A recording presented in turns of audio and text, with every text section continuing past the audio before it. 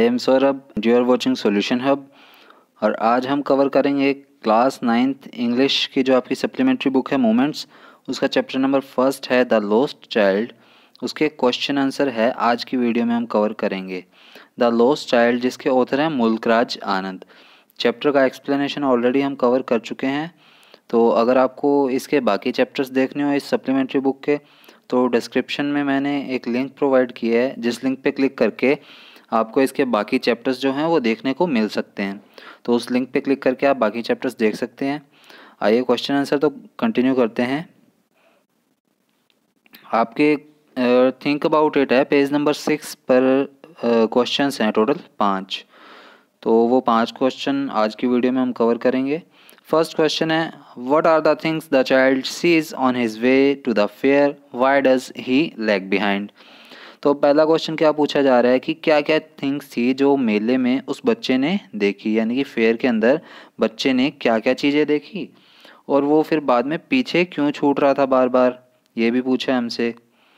तो इसका आंसर है the child sees a number of things which fascinate him on his way to the fair अब child ने, उस बच्चे ने काफ़ी सारी चीज़ें देखी जो कि उसे फैसिनेट कर रही थी, आकर्षित कर रखी थी मेले में। तो वो चीज़ें क्या क्या थी? Firstly he saw toys at a shop पहले उसने क्या देखा? एक शॉप पे काफ़ी सारे टॉयज़ देखे। Then he saw flowering mustard field उसके बाद उसने काफ़ी सारा फूलों से भरा हुआ मस्टर्ड का खेत देखा।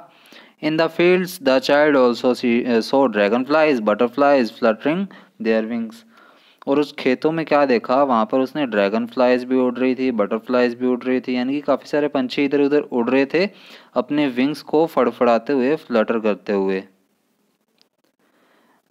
Then while walking on the footpath he was amazed by the insects and worms और जब वो फुटपाथ पर चल रहे थे रोड के फुटपाथ पर, तब वो किस चीज़ से अमेज हुआ? यानी कि आकर्षित हो गया था काफ़ी ज़्यादा। वहाँ पे जो कीड़े मकोड़े थे वॉर्म्स वगैरह थे वहाँ वो उन सभी को देखकर काफ़ी ज़्यादा अट्रैक्ट हो गया था। When he enter the grove he saw doves which were cooing अब जब वो पेड़ों के बीच में आए, लगभग जंगल के बीच में जो पेड़ थे काफ़ी बड़े बड़े एक्चुअली वो जंगल नहीं था, वो रास्ता था जहाँ बीच में काफ़ी ज़्यादा पेड़ आ गए थे तो वो जंगल की तरह ही दिख रहा था। तो वहाँ पर काफ़ी सारे पेड़ों के बीच में उसने क्या देखा? काफ़ी सारी डोव्स हैं जो अपनी कोइंग कर रही हैं, अपनी आवाज़ें निकाल रही हैं। उसे देख कर भी वो काफ़ी ज़्यादा अट्रैक्ट हो गया। As he near the village with his parents और जैसे ही वो विलेज के पास पहुँचने वाले थे, या पास थे he saw huge crowd of people going to the fair और तब वहाँ पर गाँव के नज़दीक उसने क्या देखा? काफ़ी सारे लोग जो हैं, बड़े सारे क्राउड में, यानी कि बहुत ज़्यादा लोगों की भीड़ मेले की तरफ़ जा रही है। उससे नेक्स्ट है the child also came across sweet meat seller selling sweet like barfi and gulab jamun and a little further he came across at a flower seller who was selling a garland of gulmohar तो जैसे ही वो वहाँ पर पहुँचे मेले में, तब उसने क्या देखा? वहाँ पर एक मिठाई वाली दुकान देखी, यानी कि एक मिठाई वाला देखा जो कि मिठाई बेच रहा था, जिसके पास काफ़ी ज़्यादा बर्फ़ी, गुलाब जामुन वगैरह थी। और बाद में उसने क्या देखा? कुछ ही दूरी में वहाँ पर एक फूल बेचने वाला था फ्लावर सेल सेलर था, जो कि अपने गार्लैंड बेच रहा था गुलमोहर के, यानी कि गुलमोहर की जो माला होती है, वो बेच रहा था। Walking ahead he saw man selling rainbow colour balloons और कुछ ही दूरी पर उसने क्या देखा कि रेनबो कलर के, यानी कि डिफरेंट डिफरेंट कलर के काफ़ी ज़्यादा कलरफुल बैलून्स थे वहाँ पर। He also saw a snake charmer who stood playing a flute to a snake और उसके बाद उसने और क्या चीज़ देखी? एक स्नैक चार्मर देखा, जो कि क्या है? अपने स्नैक को फ्लूट बजाकर कंट्रोल कर रहा था। Finally before losing track of his parents he saw a roundabout swing और जैसे वो अपने पेरेंट्स से छूट गया था, उससे जस्ट पहले उसने क्या देखा था? एक घूमने वाला झूला देखा था, बड़ा सारा। यानी कि जो आप बड़े सारा झूला देखते हो मेले में, वो होता है roundabout swing the child keeps lagging behind his parents on his way and his mother and father have to constantly call him so that he doesn't lag behind अब वो क्या है? चाइल्ड जो है बार बार पीछे रह रहा था। किस वजह से अपने मम्मी पापा से पीछे रह रहा था? क्योंकि वो काफ़ी ज़्यादा चीज़ों से अट्रैक्ट हो रहा था, जो कि हमें, हमने अभी ऊपर देखी। तो इसीलिए उसकी मम्मी और उसके पापा जो हैं, वो उसे रेगुलर टाइम पर कॉन्स्टेंटली आवाज़ लगाते रहे, ताकि वो पीछे ना छूट जाए। This is because the child is fascinated by all the things he sees on his way और ये सब क्यों हुआ? क्योंकि वहाँ पर मेले में उसने जो भी चीज़ें देखी, उन सभी से वो काफ़ी ज़्यादा अट्रैक्ट हो रहा था। At times he stops to be able to buy toys and and at other times he stops to admire the beauty of the nature collecting flowers catching butterflies और तब उसने क्या किया? काफ़ी ज़्यादा मतलब वो रुक जाता था बार बार ताकि वो टॉयज़ खरीद सके। और उसके बाद कई बार किस लिए रुकता था वो? कि जो नेचर की ब्यूटी है, जो आसपास की, उसे अच्छे से देख सके, यानी कि फ्लावर्स वगैरह कलेक्ट कर सके और बटरफ्लाइज को पकड़ सके। तो इन सभी चीज़ों से वो, जिन जिन चीज़ों से अट्रैक्ट हो रहा था, वहाँ वहाँ वो रुक रहा था बार बार अब सेकंड क्वेश्चन है in the fair he want many things what are they अब फेयर में उसको क्या काफ़ी ज़्यादा चीज़ें चाहिए थी तो वो कौन कौन सी थी? Why does he move on without waiting for an answer और वो अपने मम्मी पापा का जवाब सुनने से पहले ही क्यों चल पड़ता था?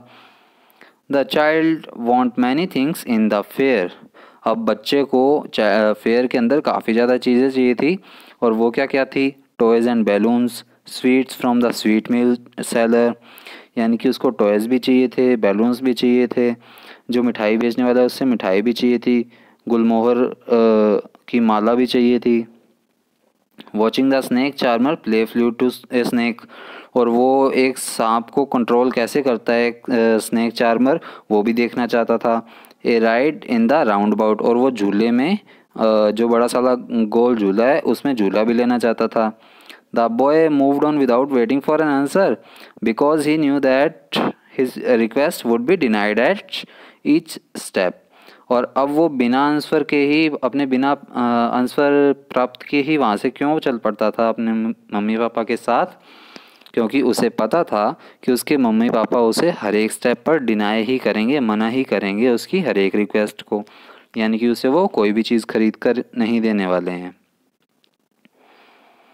अब थर्ड क्वेश्चन है when does he realise that he was he has lost his way अब उसे कब रियलाइज़ हुआ कि वो अपना रास्ता भटक चुका है? How have his anxiety and insecurity been described और अब उसकी जो चिंता है और जो इनसिक्योरिटी है, वो कैसे बताई गई है? तो वो मेले में खोया कैसे था? वो राउंड अबाउट जो भी बड़ा सारा झूला था, उसके पास रुक गया था। इस वजह से वो वहाँ पर रुका रह गया और उसके पेरेंट्स आगे चल दिए और वहाँ से वो उनसे अलग हो गया था सेपरेट हो गया था।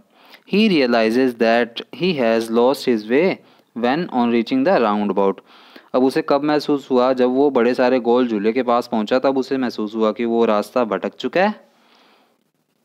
He stopped to observe it moving in full swing with men women and children enjoying themselves on it और वो रुका क्यों था वहाँ पर? क्योंकि वो झूला जो है पूरी तरह से स्विंग कर रहा था, अच्छी तरह से घूम रहा था, जिसमें काफ़ी सारे आदमी, औरत, बच्चे जो है वो एंजॉय कर रहे थे, इसलिए उन्हें देखने के लिए वो रुक गया वहाँ पर।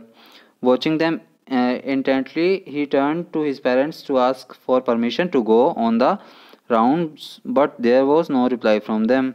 तो क्या है, वो जैसे उसने वो चीज़ देखी तो वो अपने पेरेंट्स से पूछने लग गया मुड़कर कि क्या मैं भी परमिशन लेने लग गया था कि क्या भी मैं मैं भी एक राउंड ले लूँ इसका? He turn to look for them but they were not there लेकिन जैसे वो पूछने के लिए मुड़ा था तो उसने वहाँ पर क्या देखा कि वहाँ पर तो उसके पेरेंट्स है ही नहीं। He looked all around but there was no sign of them अब उसने वो चारों तरफ़ देख लिया, लेकिन उसे अपने पेरेंट्स का कोई भी निशान नहीं मिला वहाँ पर। A deep a full deep cry rose within his dry throat and with a sudden jerk of his body he he ran from where he stood crying out in real fear mother father अब क्या हुआ? उसने चारों तरफ़ देख लिया, लेकिन वहाँ पर उसे अपने पेरेंट्स का कोई निशान नहीं मिला था। इसी वजह से क्या है वो ज़ोर ज़ोर से अब रोने लग गया था, उसके गले से ज़ोर ज़ोर से चीखने की आवाज़ आने लग गई थी। और वो जहाँ पर पहले खड़ा था, यहाँ पर, यानी कि जहाँ पर वो राउंड अबाउट के पास उसके मम पापा उससे सेपरेट हुए थे, वहाँ पर वो जाकर खड़ा हो गया और ज़ोर ज़ोर से चिल्लाने लगा। लेकिन वहाँ पर भी उसके मम पापा की कोई भी निशान नहीं थे और वो डर के मारे सिर्फ़ दो ही चीज़ें चिल्ला रहा था mother father mother father tears roll down from his eyes अब आँसू उसकी आँखों से गिरने लगे। His flushed face was convulsed with fear अब उसका जो छोटा सा चेहरा है प्यारा सा वो काफ़ी ज़्यादा घबराया सा लग रहा था। Panic stricken he ran from one side to another और वो घबराए हुए चेहरे से इधर उधर दौड़ रहा था in all directions knowing not where to go और अब क्या वो बार बार डायरेक्शंस में, हर एक डायरेक्शन में घूम रहा था, लेकिन उसे पता ही नहीं था कि अब कहाँ जाऊँ। His yellow turban came untied and his clothes become muddy अब उसके सिर पे जो येलो सी एक पगड़ी सी बाँध रखी थी उसने, वो क्या है? वो भी अनटाई होगी यानी कि वो भी खुल गई और उसके कपड़े भी हैं जो मड़ी हो गए, यानी कि काफ़ी ज़्यादा मिट्टी लग गई, उन पर मैले हो गए वो भी। अब फोर्थ क्वेश्चन है why does the lost child lose interest in things that he had wanted earlier अब उस लॉस्ट चाइल्ड का, उस खोए हुए बच्चे का जो इंटरेस्ट है, वो बाकी चीज़ों से अचानक से क्यों हट गया? ये पूछा गया है। जिनमें उसका पहले इंटरेस्ट था, अब अचानक से वो इंटरेस्ट क्यों हट गया था? वो इंटरेस्ट जो है इसीलिए हटा था क्योंकि वो अपने पेरेंट्स से बिछड़ चुका था। The lost child loses interest in the things that he had wanted earlier because he was panic stricken on being separated from his parents अपने पेरेंट्स से बिछड़ने की वजह से ही उसका जो दिमाग है वो पूरी तरह से घूम गया था, यानी कि उसे समझ ही नहीं आ रहा था कि क्या किया जाए। और इसीलिए उसे किसी भी चीज़ में अब इंटरेस्ट नहीं आ रहा था। जो चीज़ों में वो इंटरेस्ट पहले ले रहा था, अब उसे कुछ भी इंटरेस्ट नहीं आ रहा था। All he wanted was to be un, uh, untied with them. All the things that attracted him in the fair no longer appealed to be appealed to him and now the only thing that matters is finding his parents. और अब क्या था उसे समझ ही नहीं आ रहा था कि क्या किया जाए वो कैसे उनसे दोबारा मिलेगा ये भी नहीं पता था और जिन चीज़ों से वो पहले काफ़ी ज़्यादा अट्रैक्ट हो रहा था अब वो उसके लिए बिल्कुल भी मैटर नहीं कर रही थी अब तो उसे एक ही चीज़ चाहिए थी कि उसके मम पापा उसे जल्दी से मिल जाएँ ये लास्ट क्वेश्चन आपके इस चैप्टर का। What do you think happens in the end अब आपको क्या लगता है कि स्टोरी के एंड में क्या हुआ होगा? Does the child find his parents क्या उसको अपने मम पापा मिल गए थे बच्चे को? In the end the parents ward who continuously kept checking to see that he was with them right from the beginning of their journey may have suddenly realized that he was missing and come looking for the lost child. अब end में क्या हुआ था? जैसे ही parents जो parents थे, उसको हर एक टाइम पे तो चेक कर रहे थे। शुरू से ही जब जर्नी उन्होंने घर से स्टार्ट की थी, तभी से चेक कर रहे थे कि बच्चा हमारे पास है, साथ है या नहीं है। अचानक से क्या हुआ? वो बच्चा जो है, उनसे बिछड़ गया, उन्होंने रियलाइज़ किया और वो बच्चा फिर अपने पेरेंट्स को खोजने लग गया। The kind and understanding man who tried to console the little boy by offering him various things at the fair may have also asked him for some description of his parents and helped him to be reunited with them अब आखिर में क्या हुआ कि जो एक आदमी था जो उन्हें मिला था उस बच्चे को जो कि काफ़ी दयालु था और उसे समझने वाला था उसने काफ़ी ज़्यादा ट्राई किया और काफ़ी ज़्यादा थिंग्स के बारे में पूछा जो कि उसे अच्छी लगती थी बट तब उसके लिए वो चीज़ें मैटर नहीं कर रही थी। उसे सिर्फ़ यही चाहिए था कि मेरे मम्मी पापा मिल जाएँ। तो उस आदमी ने क्या किया? उसके मम्मी पापा के बारे में पूछना शुरू कर दिया कि कैसे दिखते हैं, वो क्या पहना हुआ था। और वो मैन क्या चाहता था? वो यही चाहता था कि ये बच्चा जो है अपने पेरेंट्स से जल्दी से जल्दी मिल जाए help them to be reunited with them वही यही चाहता था मैन कि वो अपने पेरेंट्स से जल्दी से जल्दी मिले और ये बच्चा वापस से खुश हो जाए। तो इस क्वेश्चन का आंसर भी इतना ही था। तो इसके जो पाँच क्वेश्चन थे, जो कि आपके पेज नंबर सिक्स पर थे, वो पूरे हो चुके हैं। तो उम्मीद है आपको वीडियो अच्छी लगी होगी। और जैसे मैंने आपको स्टार्टिंग में बताया था कि अगर आपको बाकी चैप्टर्स देखने हैं तो डिस्क्रिप्शन में एक लिंक प्रोवाइड किया हुआ है मैंने। उस लिंक पर क्लिक कर दीजिएगा ताकि आपको बाकी चैप्टर्स देखने को मिल जाएँ। ईजिली आपको ढूंढना ना पड़े बार बार तो वीडियो अच्छी लगी हो तो लाइक शेयर कमेंट कर दीजिए। कमेंट बॉक्स में हमें अपने वैल्यूबल व्यूज़ ज़रूर दीजिएगा। और चैनल को भी ज़रूर सब्सक्राइब कीजिए अगर अभी तक नहीं किया है तो थैंक यू।